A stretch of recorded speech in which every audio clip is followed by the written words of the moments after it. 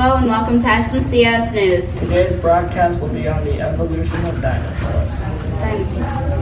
This is a plant-eating dinosaur known as the Brachiosaurus. The Brachiosaurus is a long-necked dinosaur. The long-necked dinosaurs, the Brachiosaurus being the most famous, slowly but surely, because they are very slow, evolved into the egg-eating dinosaurs such as the Omnivoraptor. 65 million years ago, an asteroid wiped out every dinosaur on the Earth, but the DNA was still left over.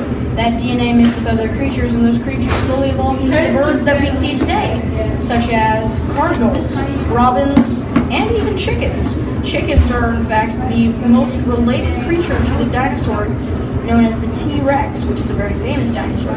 Next time you see a chicken, think about it as a dinosaur.